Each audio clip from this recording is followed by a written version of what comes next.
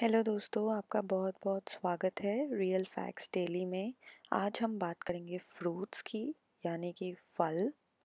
Fruits का नाम दिमाग में लाते ही हमारे मन में आता है वाइटामिन और न्यूट्रिशंस वो लोग जो हर रोज़ फ्रूट को अपने दिन में शामिल करते हैं, वो लोग डिज़ीज़ के शिकार नहीं होते हैं।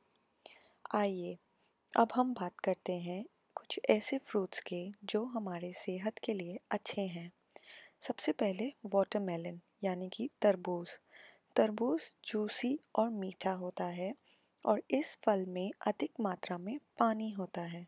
इसमें antioxidant lycopene beta carotene vitamin C potassium और मैग्नीशियम भी होता है, जो हमारे सेहत के लिए अच्छा होता है।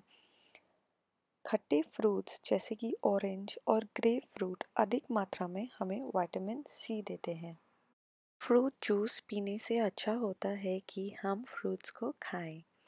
एवोकाडो में एवोकाडो एक दूसरा फ्रूट है, जो बाहर के मुल्कों में ज़्यादा खाया जाता है, जो हमारे अच्छे कोलेस्ट्रॉल को बनाए रखने में मदद करता है। ये एंटीऑक्सीडेंट और विटामिन ई e में भी हाई होता है। ग्रेप्स यानी कि अंगूर अंगूर खाने से हमें बहुत फ़ायदा मिलता है। जैसे कि एंटीऑक्सीडेंट्स, जो अंगूर का छिलका होता है, वो हमारे अंदर कैंसर जैसी बीमारी को ख़त्म कर देता है। अंगूर में फाइबर भी होता है। इसके साथ ही कीवी फ्रूट में अधिक विटामिन सी और फाइबर होता है। अब मैं अब आपके साथ कुछ ऐसी बातें शेयर करना चाहती हूँ फ्रूट्स के बारे में जो शायद ही आपने पहले कभी हम समझते हैं। कि फ़ैट्स हमारे लिए अच्छा नहीं होता पर असल में कुछ ऐसे फ़ैट्स हैं जो हमारे लिए अच्छे होते हैं। नट्स जैसे बादाम काजू पिस्ता इससे हमें हेल्दी फैट्स और एनर्जी मिलता है। फ्रूट से हमें इंस्टेंट एनर्जी मिलती है। यूएस में कुछ दुकानें ऐसी है जो सालों से एप्पल बेच रहे हैं। स्ट्रॉबेरी का नाम बेरी होता है, पर असल में बनाना एक बेरी है। एप्पल्स, पीचेस और रास्पबेरी रोज़ फूल के फैमिली से आते हैं, यानी कि वो रोज़ फूल के फैमिली से बिलोंग करते हैं वह उनकी नस्ल होती है। दुनिया का सबसे पॉपुलर फ्रूट है टमाटर। जी हाँ टमाटर एक फ्रूट है। क्यूकम्बर्स यानी कि खीरा, भी फ्रूट होता है। फ्रूट्स की भी पढ़ाई होती है और उसे कहते हैं पोमोलॉजी।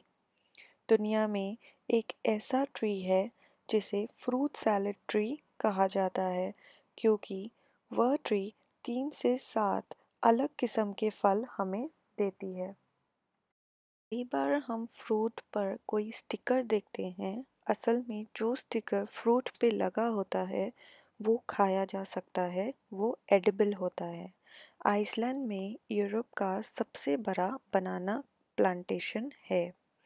ड्यूरन फ्रूट की महक इतनी बदबू होती है कि कुछ ऐसे पार्ट है एशिया में जहाँ उनको उस फ्रूट को बसों और होटल में ले जाना सख्त मना है।